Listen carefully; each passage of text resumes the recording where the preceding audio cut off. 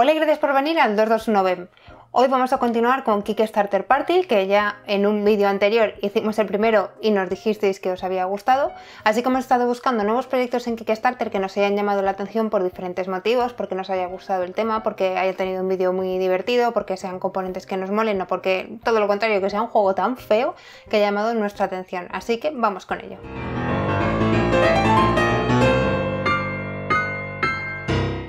El primer juego que hemos escogido es Tan Garden.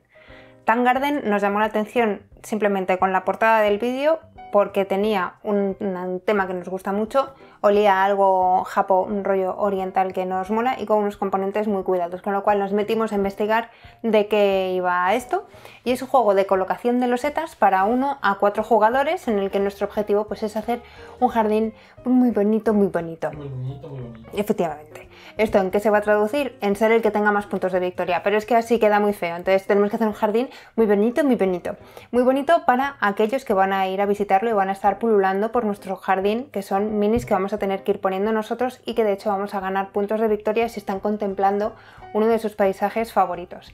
Entonces, la campaña, tenéis tutorial abajo también para poder verlo, está bien estructurada, está totalmente financiado de hecho, si os gusta, es EU friendly y más o menos creo que con los gastos de envío eran como 57 euros, una cosa así.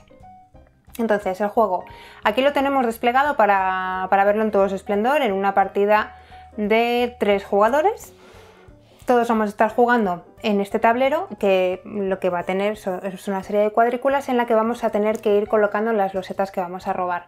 Las losetas están colocadas en las esquinas del tablero a veces estarán boca arriba, a veces estarán boca abajo, eso tendrá que ver con algunas acciones que vamos a poder tomar, pero podremos coger estas losetas en nuestro turno y colocarlas aquí para ir haciendo entre todos el jardín y ganar puntos de victoria. Es competitivo, eso sí, o sea, no es cooperativo, vamos a hacer entre todos el jardín más bonito del mundo, no, es mm, quiero ser yo el que haga el jardín más bonito para estas personas y tú te fastidias. Bueno, mm, así dicho no, pero, pero sí. Entonces, cogemos una loseta y la colocamos en el tablero. Estas losetas tienen una serie de normas para poder colocarlos, lo típico de los árboles con los árboles, agua con agua, puedes mm, eh, construir pagodas y demás. Y en algunas partes, no sé si lo veis aquí bien, hay unas fichas que son redondas, eh, van a estar boca abajo y lo que nos permite es en el momento que pongamos una loseta sobre ese espacio, la colocaremos, cogeremos ese token y podremos robar uno de una de estas paredes que hay aquí levantadas, porque el tablero principal tiene una serie de hendiduras para que nosotros podamos poner esos paisajes. Y esos paisajes es lo que quieren contemplar las miniaturas que hemos visto antes. Entonces colocar una de estas también va a ser una de nuestras acciones. Podemos poner losetas o podemos poner también decoraciones en nuestro jardín, que son lo que estamos viendo aquí, los arbolitos y las pagodas robamos cartas, robaremos mm, X en función de ciertas cosas que tienen que pasar durante la partida, escogemos una decoración y la colocamos en, el jardín. Entonces, los personajes, estos, nosotros al principio de la partida vamos a empezar con uno, que vamos a ser nosotros, digamos, en cuanto que vamos a poder utilizar las habilidades que vienen abajo expuestas. En el momento en el que nosotros cumplamos una serie de requisitos en nuestro tablero, que vamos a ir aumentando sus valores con estos cubitos en función de lo que vayamos construyendo, vamos a poder adquirir otros personajes que formarán parte de un escaparate común. Pero solo vamos a poder tener uno de ellos activo. Eso quiere decir que en el momento que yo me quiera deshacer de este, que digamos que es el mío de mano, tendré que coger la miniatura y colocarla dentro del jardín. Y es muy importante la orientación, hacia dónde está mirando, porque va a tener que permanecer así. Se supone que al final de la partida, si está mirando su paisaje favorito, nosotros ganaremos más puntos porque todavía tendremos esa carta. Robaremos la carta que nosotros queramos en función de los puntos que tengamos y tendremos otras habilidades y luego podremos hacer lo mismo. Si cumplimos otras y queremos coger otro personaje, tendremos que coger su miniatura y colocarla en el jardín y así ganar puntos al final de la partida. Está financiado mm, a lo bestia, han desbloqueado un montón de cosas y los componentes es lo que más llama la atención nada más empezar a ver este Kickstarter. Los arbolitos me recuerdan mucho a los de fotosíntesis, aunque estos me gustan más por los colores que tienen, lo que pasa es que parece que todos son muy del mismo nivel. Las miniaturas son súper chulas. Ah, mira, hay una caja de lux que esta no la había visto. Pero bueno, lo seteo, competitivo y rollo Japón. Este no creo que caiga por el... porque es el típico juego que luego Javi me quiere matar, en el que estás pensando mucho, no me, me estás mirando. sí, es verdad. Y cuando hicimos la, la, receta, no, la reseña de Lanterns o Yangtze, que lo llamó de Beer, lo dijiste públicamente. Te reviento la cabeza a ti o a cualquier otro. Ah, vale, que no es una cosa personal. No, no es personal, es decir, si otra persona me quita la jugada. Mm. Mira. No, es verdad. Es verdad, es verdad. El tema de los seteo cuando tienes que estar pensando qué vas a hacer y cómo puedes estar con bando y tal, le dan ganas de matarme porque siempre parece que cojo la loseta que quiere él. Es verdad. Vale. Luego lo juego con Pirracas y Pirracas se puso casco. Y hay una foto en Twitter. Bueno, eh, esto es a muy, muy, muy grandes rasgos. Intento ir rápido porque tenemos varios proyectos que nos han llamado la atención para poder picar un poquito de todos ellos. El siguiente es este, Getaway Driver. Seguro que las ilustraciones os suenan porque hay otros juegos que también se han financiado a través de Kickstarter que, tienen el mismo rollo, van como en la misma línea, que son Burger, Burger Bros. Es que, Burger, es que en casa decimos Burger Bros. porque es mucho más fácil, que es el de robar el banco. Y, luego sacaron también el fugitivo. Ahora tenemos Getaway Driver, sigue con el, mismo rollo de, ilustraciones y de robos y tal. En este caso no, vamos a robar, sino que va a ser una persecución tipo Italian, Italian Job. Entonces, es un juego que es exclusivo para dos personas. Es un juego también de los seteo. A ver, Vamos a bajar para verlo un poquito más. La partida más o menos dura entre 30 o 45 minutos.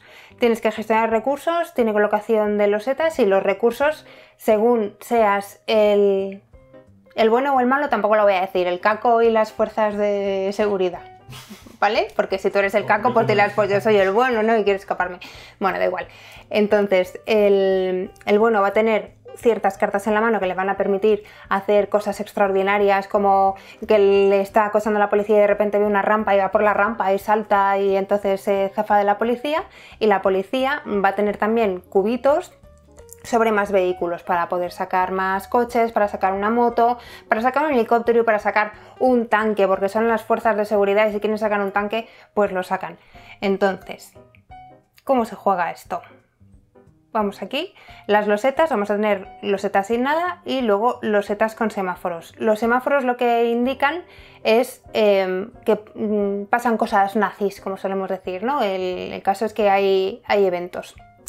Entonces, es un juego que es asimétrico, cada uno de los jugadores eh, va a ganar de una manera y va a jugar de una manera. Entonces, estas losetas, vamos a ver si tenemos aquí algún juego desplegado. No, bueno, mm, decir de, esta campaña esto no me ha gustado demasiado, que es que todo lo que se ha ido desbloqueando, siempre quieres ver una imagen y como que te mola decir, bueno, pues he invertido la pasta en esto y es, mm, voy, a obtener todo esto, ¿no? Y como que te pones que quiero más, quiero más, y solo tenemos una lista y, y eso me ha patinado un poco. Entonces, quiero ver las losetas. Pues mira, es que me da cosa reproducir el vídeo por si acaso luego nos petan el nuestro por copyright. Pero teniendo aquí estas losetas yo creo que podemos hacerlo. Entonces, el objetivo del, del caco es zafarse de la poli y el objetivo de la poli es coger al caco. Todas las losetas se van a meter en una bolsa que trae el juego, se van a mezclar y al principio de cada ronda el policía tiene que sacar tres, tres losetas que corresponden hacia donde puede ir el caco, pues hacia arriba, hacia abajo o al frente. Esto también puede variar porque si ya hay losetas porque el caco ha ido moviéndose de una manera un poco errática, pues va a haber algunas que ya estén colocadas. Al principio el caco empieza con cartas y el poli empieza con cartas y con esos vamos, las cartas es para poner cubitos encima para poder sacar nuevos vehículos. Y tenemos una serie de cubitos que son los botines que los agitamos y lo tiramos encima de la mesa, tienen que quedar a una distancia un poco lógica para que el caco pueda ir moviéndose por las losetas y que cuando caiga en una de ellas el botín se lo queda, porque el botín lo que le va a permitir es que si ha gastado alguna carta la puede recuperar. Por eso es muy importante que el caco vaya por ellas, pero claro, el policía va a saber que el caco va a querer ir a por ellas. Me estoy liando un montón. ¿Cómo se juega? El poli mete la mano en la bolsa, saca tres y las pone boca abajo en función de lo que piensa que va a hacer el caco, porque lo que va a intentar es ponerle semáforos en rojo, que son las losetas que son peligrosas porque van a hacer que el caco eh, tenga que sacar esas cartas de mm, salir volando por una rampa y demás y así conseguir pillarle. Luego vamos a tener esto de aquí que es el registro por el que el policía puede ganar. El momento en que el caco y el poli estén en la misma loseta, esto va a subir. Así hasta que esté en rojo. El momento que esté en rojo, el poli gana.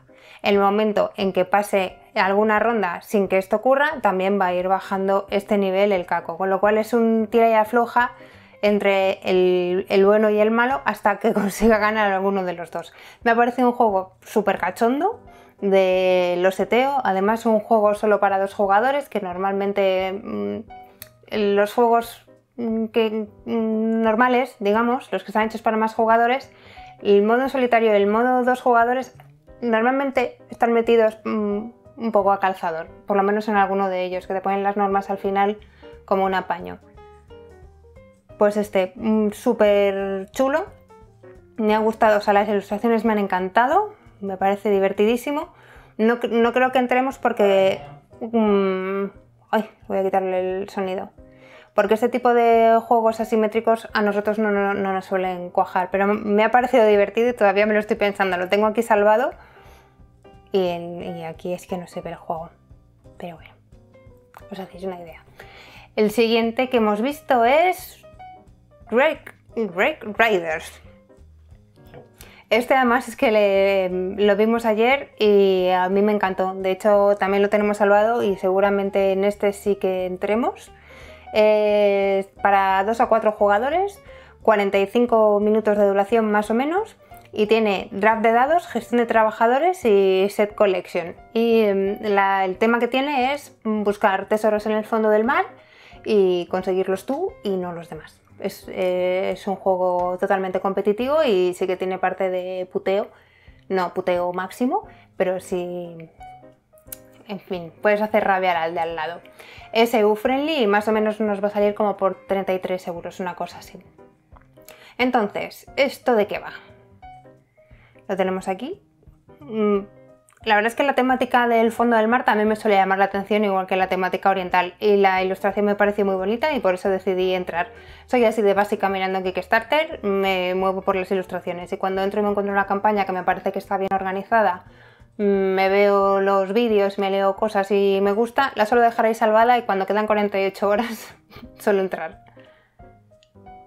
Ya sé que tenéis todos los componentes, lo que es feísimo son los dados, que además parece que van a ser los dados finales, mm, espero que no, son dados amarillos, mondos y lirondos, muy feos.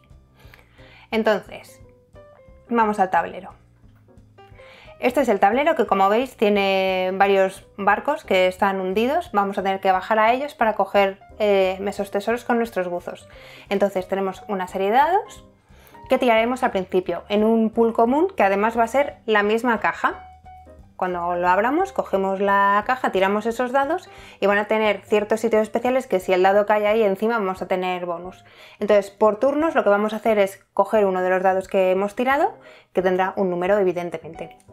Y con ese número nos tendremos que ir al tablero y colocar uno de nuestros buzos o en el fondo del mar, correspondiente con el número que hemos cogido, o en la playa también con el número que hemos cogido. Cuando estemos abajo en el fondo del mar, si estamos aquí, podremos coger una loseta del recurso que hay aquí, que tenemos cuatro diferentes, y si estamos en la playa vamos a recolectar lo que llaman burbujas. Las burbujas pueden tener conchas, pueden tener calaveras y pueden tener estrellitas de mar. Esto, eh, bueno, pues son tokens que nos van a ayudar a, eh, a tener habilidades especiales, a decorar también eh, pues ciertas cosas que tenemos que ir construyendo. Entonces, vale, tenemos buzos, tenemos dónde conseguir botines, ¿qué tenemos que hacer? Cuando bajemos y consigamos uno de los tesoros, si tenemos un buzo aquí de nuestro color, pero también tenemos un buzo aquí de nuestro color, vamos a obtener tesoro por el que tenemos aquí y también tesoro por el que tengamos aquí. Pero si ponemos aquí un buzo y aquí está un mipel de Javi y aquí otro mipel de Javi, Javi se va a llevar dos tesoros y yo me voy a llevar uno. Así que tenemos que tener cuidado también de dónde cogemos, o sea, qué número cogemos en los dados y dónde lo vamos a colocar, porque lo que no queremos es que Javi se lleve tesoros. No queremos. Queremos que gane yo. ¿Ves? Quiero tesoro. Estás dando pena. ¿Estás haciéndote el cojo? Estoy haciéndome el cojo. Yo quiero tesoros. No quieres tesoros. Entonces, no. yo lo que podría hacer es decir, uy, no, pues no quiero que Javi pille. Puedo poner mi buzo encima del suyo, pero como no podemos compartir espacio, pues te empujo a la playa. Entonces te vas, tú te vas a la playa y yo me quedo con tu espacio. Tú en la playa luego coges burbujas y tal, que también son buenas. Y conchas. Y conchas y calaveras. Y estrellitas de mar. Muy bien. Luego, con, con lo que recolectemos de aquí, son estos pequeños tokens, ¿veis? Aquí están boca abajo. Entonces podemos colocarlos de dos maneras. Vamos a tener un tablero nuestro propio personal, que es este, y podemos colocarlo o aquí en una exhibición, intentando casar las cartas de objetivo que vamos a tener disponibles para todos los jugadores en el momento que consigamos hacer una. O sea, por ejemplo, esta vasija, diamante, vasija, que lo tengamos aquí, robaríamos esta carta, sacaríamos todo el pool común y el primero que tenga 5 cartas es el que dispara al final de la partida y quien tenga más puntos de victoria va a ser quien gane. Y aparte de poner estos tesoros aquí, que los pondríamos boca abajo, también podemos poner por el otro lado, boca arriba, aquí los tesoros. Tenemos tesoros, como veis, amarillos, marrones, morados y azules. Empezando siempre desde abajo, o sea, no podemos empezar aquí porque sí, siempre tenemos que tener una base. Tenemos que ir colocándonos en nuestro alijo personal. Entonces, nos van a dar puntos si tenemos, por ejemplo, esta fila entera de morados, pero cada uno de los colores va a tener tres ítems diferentes. Si conseguimos tener una, una fila del mismo color con los tres ítems diferentes, vamos a tener más puntos de victoria. Y además, podemos conseguir puntos de victoria al final de la partida construyendo este acuario. Los acuarios eh, funcionan un, un poco igual que esto que tenemos aquí. O sea, van a ser un pool común y lo que vamos a hacer es poder comprar partes del acuario con esas burbujas que vamos a ir recolectando. Las burbujas las podemos coger tanto de la playa como cuando cojamos un dado que haya caído encima de una burbuja. Cogeremos ese token y nos lo quedaremos. A grandes rasgos, este es el juego, me ha parecido súper cachondo, me ha encantado. Además tiene vídeo rado. Eh, si seguís asiduamente el canal, ya sabéis que a mí Rado me encanta. Y lo que pasa es que a Rado le gusta todo, entonces este juego le ha maravillado. Y seguramente en este sí que entre, porque me parece un juego muy, muy manjete de sacar, muy fácil de explicar. Tiene dos reglas y creo que puede ser mm, una puerta de entrada también para mm, cuando ya tienes a alguien que le interesa un juego de mesa, ponerle este por lo bonito, por la temática y por esa interacción entre los jugadores que, mm, que es poca, pero ese puteo le da un poco de vidilla. Entonces, vamos a por el siguiente. Vale. Gorus Maximus. Este me llama la atención por el nombre. mm, Ni siquiera os voy a decir que me llama la atención por las ilustraciones, ni siquiera por el tema, porque el rollo Roma y gladiadores no os creáis que me hace mucha gracia, pero me encantó el nombre. Me metí a mirar, me encontré un vídeo de presentación que me pareció súper cachondo y me puse a mirar y es es un juego tipo mm, en mi casa se llama Mau el típico juego que normalmente se llama hijo puta según me dijo Javi Chúpate dos. chúpate dos También. ah pues es como un chúpate dos hijo puta. Tiene muchos nombres. Vale, pues entre los muchos nombres en mi casa se llama. Tiene un avestruz mm, matando gente. Entonces, em, es un juego súper, súper sencillo.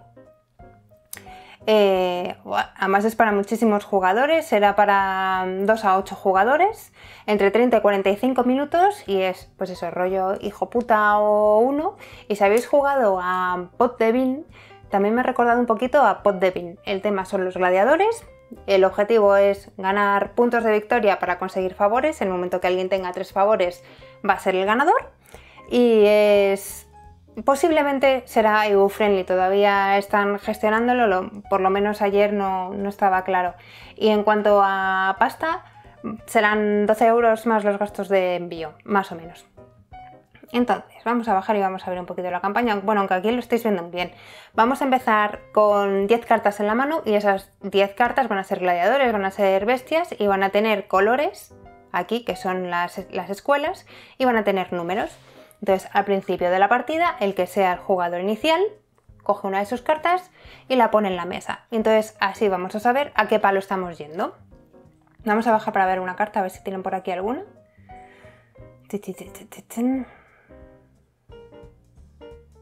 Bueno, aquí tienen un GIF. Perfecto. Tenemos esto en mitad de la mesa, que es em, donde vamos a marcar qué escuela es la vigente. Si yo empiezo a jugar, por ejemplo, una carta amarilla, que es la que está aquí marcada, pondríamos ese marcador en el amarillo y jugaría una carta amarilla de mm, 12. Entonces el siguiente debería echar también cartas amarillas o podría echar un 12 y cambiar la escuela. Entonces ya va a cambiar un poco las tornas porque mm, las cartas que estamos jugando todos se las va a llevar aquel que tenga el número más alto de la escuela que esté vigente al final cuando hayamos jugado todos los jugadores. Las cartas hay algunas que son mejores que otras porque aquí tienen puntos de victoria. Tienen, a ver, vamos a ver esto, ¿veis? Ahí, este circulito amarillo te marca punto de victoria. Ese marcaba uno, pero hay algunas cartas que tienen puntos negativos. Entonces lo que vamos a tener que hacer es mm, tener ahí un poco de mala leche para intentar que otros se coman las cartas que tienen puntos negativos y nosotros quedarnos con las que tienen puntos positivos para así, al al final, cuando ya mm, estemos todos mm, con el turno hecho, ver quién tiene más y ser quien tenga más puntos de victoria. Quien sea el mejor de tres, pues gana.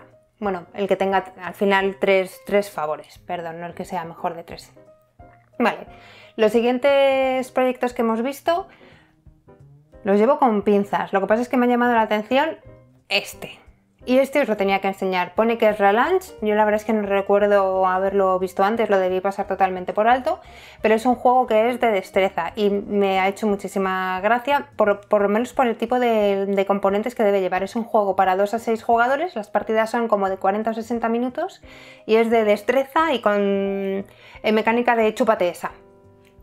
Bien, ¿no? Chúpate esa. Dos. Chupa- chup- eh, no dos, porque no te chupas dos, te chupas una guarrada que yo te he hecho para que te fastidies y que sea más difícil. Mecánica, chúpate esa.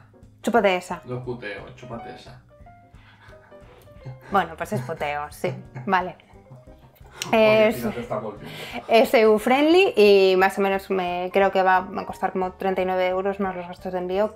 Creo. Ah, Ya os digo, este sí que lo llevo con pinzas total. ¿Por qué me ha llamado la atención? Por un GIF que hay aquí que a mí me volvió loca de cómo alguien ha podido hacer eso. Es un juego, este, este es alucinante. Es un juego de destreza, es súper tonto, entonces tiene temática espacial, el tablero es lo que estáis viendo ahí, que es un tablero mm, como circular, como con forma de herradura, montado sobre un pivote y es magnético. Los componentes, además, por lo que he estado viendo en vídeos, mm, no son los típicos componentes que encontramos en los juegos, que se deslizan las cosas, sino que son un poco rugosos, con lo cual lo que permite es que puedes colocar cosas encima, como estáis viendo, y que aquello gire y se deslice sin que todo se te vaya a la porra. La historia de este juego es que tú vas a tener cartas que lo que van a hacer es poner más difícil a los demás lo que tienen que hacer. Hay dos dados, al principio de tu turno los tiras y esos dados van a determinar en qué parte del tablero tienes que poner qué ficha. Lo coges de tus recursos y avisas a los demás. Voy a poner mm, una nave espacial en la luna. Entonces esperas a que los demás te digan, vale, pues ahora vas a poner dos. Además lo vas a poner con palillos y además tienes que hacer que eso gire y hacerlo con los ojos cerrados. Y, no, tiene más el juego, o sea, es que es súper tonto, incluso las normas al principio te dicen que los jugadores son los que van a pactar a, cuántos puntos de victoria van a ir para hacer la partida más corta o, más larga. Y es que me, me ha, me ha parecido una genialidad. Tiene, encima viene con dos tableros, mm, uno este se supone que es como el más complicado y por la otra parte es el que viene los planetas. Me ha parecido muy churra, pero es que a mí los juegos de destreza me llaman mucho la atención y, y tengo curiosidad por ver los componentes. Mm, En este eh, estoy prácticamente segura de que no vamos a entrar porque no creo que nadie se quiera sentar a la mesa a jugar conmigo, pero, pero me hace toda la gracia. ¿Tú lo has visto? Eh, he visto un poquito por encima. ¿Jugarías conmigo? Bueno, hay que jugar a todo. Tiene. A, a mí me ha llamado la atención. Por los componentes y por, y por lo chorra. El último juego que hemos visto, este sí, o sea, si este lo llevo con palillos, este no os quiero ni contar. ¿Y yo qué he dicho? Palillos. Palillos. Es que este juego viene con palillos, como para comer comida china, porque hay una carta que lo que te dice es que tienes que colocarlo con palillos chinos. Para algunos será una guarrada y para otros, pues será mucho mejor que hacerlo con la mano. Eh, ¿Para ti sería una guarrada? Depende. Yo creo que sería algo No sé. bueno. Y por último he puesto Solar City. Es un juego para 2 a 4 jugadores. Son entre 40 y 45 minutos. Uy. Perdón. Le. El- y tiene una temática futurista en el que bueno, pues el planeta se ha ido a la porra, entonces tenemos que reconstruirlo intentando ser todo lo em, ecológicos y construyendo muchos jardines para conseguir que, la tierra vuelva a estar sana y como una pera. Em, es EU-friendly más o menos va a costar como 39 euros. Entonces cada uno de, de nosotros va a tener un tablero. Vamos a bajar, vale. Vamos a tener eh, uno de estos tableros que es una cuadrícula de 4x4 y vamos a tener que ir colocando diferentes rascacielos. Los rascacielos luego los vamos a poder girar para que también sean jardines. Vamos a poder colocar edificios públicos que nos van a proporcionar dinero. Gana al final que tenga más dinero. Pero la historia es que estas losetas, a medida que las vayamos colocando, van a poder combar unas con las otras. Pero imaginaos, yo pongo una loseta en este cuadradito de aquí, pero aparte tengo esta. Entonces, una vez colocado y termino mi turno, decido que voy a activar la columna entera.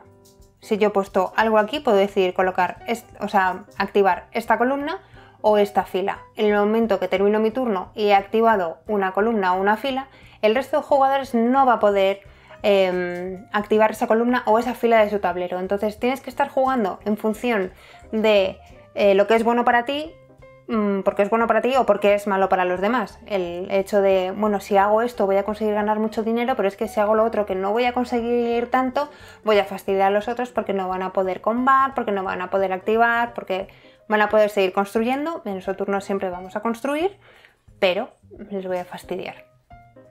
Y, y- y ya está. Por eso os he dicho que lo llevaba con muchas pinzas.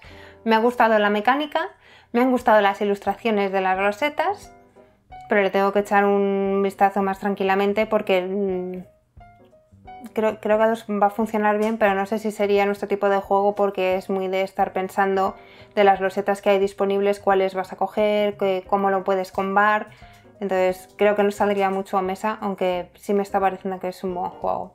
Y luego lo último que, que hemos visto son dos cosas que no son juegos, ya sabéis que nos gusta mirar también un poco todo lo que haya relacionado con juegos de mesa. Y tenemos aquí esta mochila, gracias al señor Pritchard, que nos la mandó por WhatsApp. Y nos dijo, oye, esta mochila, cómo mola, qué chula es, qué de cosas puede hacer. Y además es barata. Y, mm, y yo me lo creí. Y hasta que no miré el proyecto le dije, pero, pero ¿cómo me dices que es barata? Porque son 149 euros la mochila. Pero, mm, pero es verdad que el vídeo que se han currado está muy bien porque los ejemplos que te ponen para mm, juegos que puedes meter en la mochila son el Imperial Assault y el Gunheaven. eh, y los meten bien. Y de hecho es un- una especie de reclamo que tiene la mochila, que es como, oye, que te van a caber aquí esos juegos que no te caben en ninguna parte, ni siquiera en tu casa. Viene esta mochila y luego le puedes ir poniendo add-ons. Puedes ponerle cajas para tirar dados, puedes ponerle como gomillas para que no se te deslicen los juegos y demás. Vale, mochila, caben los juegos, mm, por ahí queremos todos y luego ya te dicen que es impermeable, que tiene una- unas correas para que no te hagan daño en la espalda, correas de seguridad, tiene para meter el portátil, tiene para meter las llaves, tiene para meter las gafas. Lo de meter las gafas es muy divertido, no sé en qué punto estaba de- del vídeo. Bueno, aquí están regando la mochila. Me parece una chorrada el vídeo decir quién va a regar una mochila. Bueno, esta parte me encanta porque el tío se pone súper contento cuando se ponen las gafas. ¡Ey! Sí, te caben las gafas.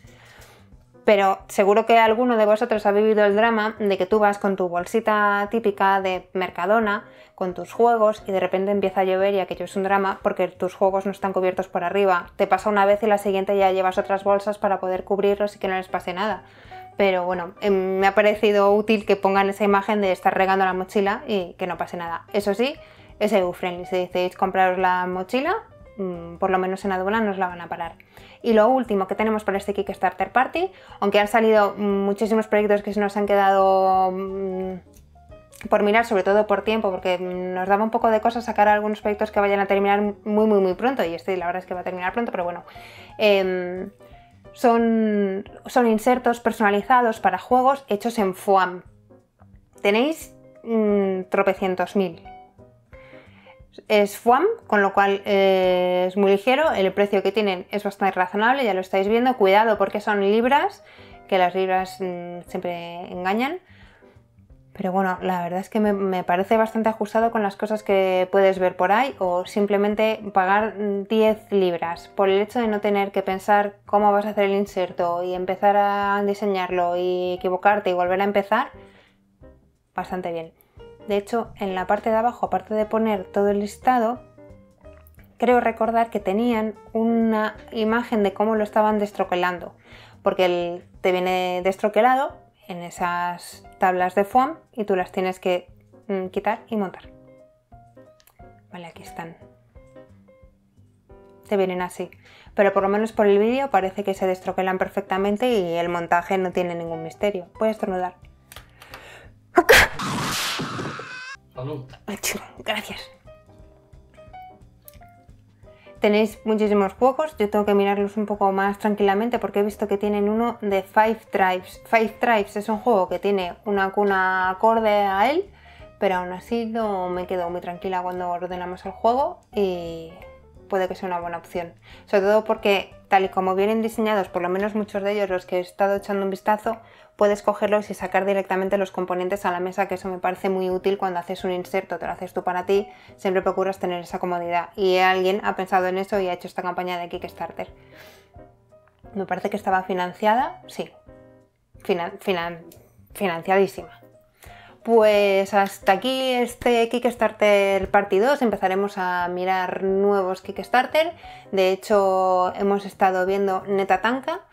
Voy a mirar porque no sé si ahora mismo eh, ha terminado esa campaña y van a estar en late plate.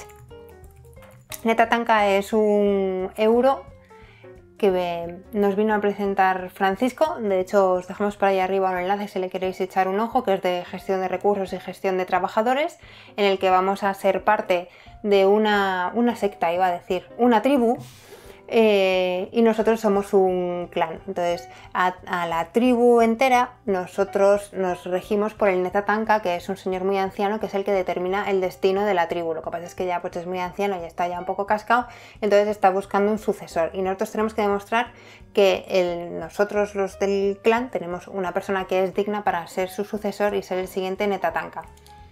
Todavía quedan, nada, no, quedan, quedan dos horas, con lo cual no sabemos si va a tener late plates si tiene late play, os aconsejamos que le echéis un ojo porque nosotros pudimos ver los componentes, las ilustraciones son una pasada, los componentes de la edición de Lux son muy chulos y el juego nos pareció un euro medio que estaba muy bien también para cuando alguien ya se ha metido en los juegos de mesa. Sacarle este juego es bastante amistoso porque se puede jugar muy fácilmente y, y la iconografía es muy buena.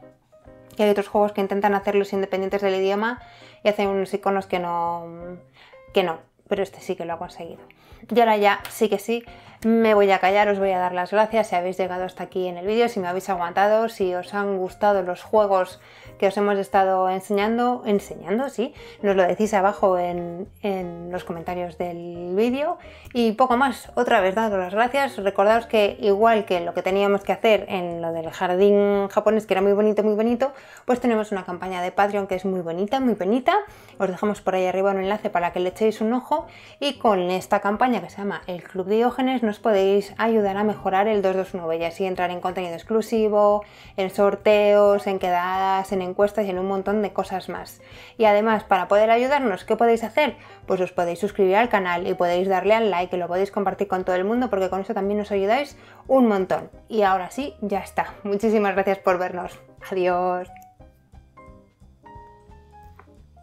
Ya pues para el aire.